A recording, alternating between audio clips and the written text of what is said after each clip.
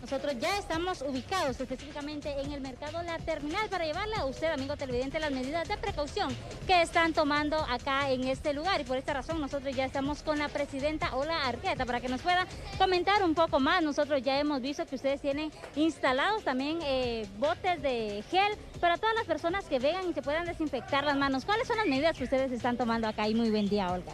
Eh, sí, muy buen día. Eh, nosotros aquí también estamos tomando nuestras medidas. Como se pueden dar cuenta, aquí la señora que está vendiendo con su respectiva mascarilla. Eh, estaremos tomando medidas también de higiene. Se va a estar lavando el parqueo a las 2 de la tarde.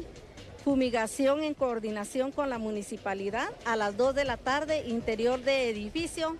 Ya la mayoría de personas tienen su gel, su botella de cloro y su tambito de agua. necesitamos ir parando ya todo lo que ha estado diciendo el señor presidente y estamos acatando. Muy bien. Agradecemos los detalles que nos acaba de brindar Olga, amigo televidente. Usted ya lo pudo escuchar como medida de sanidad. Ellos acá tienen su gel antibacterial y también tienen la mascarilla y guantes para que de esta forma ellos puedan brindar un mejor servicio y así también proteger a todos los guatemaltecos que vienen a comprar en el mercado La Terminal. Por esta razón, usted también debe tomar sus medidas de sanidad y de esta forma pues también eh, tener siempre limpia las manos y las recomendaciones que nosotros le estamos haciendo llegar con el uso de guantes también para prevenir cualquier tipo de infección respiratoria. Con esos detalles, compañeros, allá en el estudio de 7, yo retorno al set principal.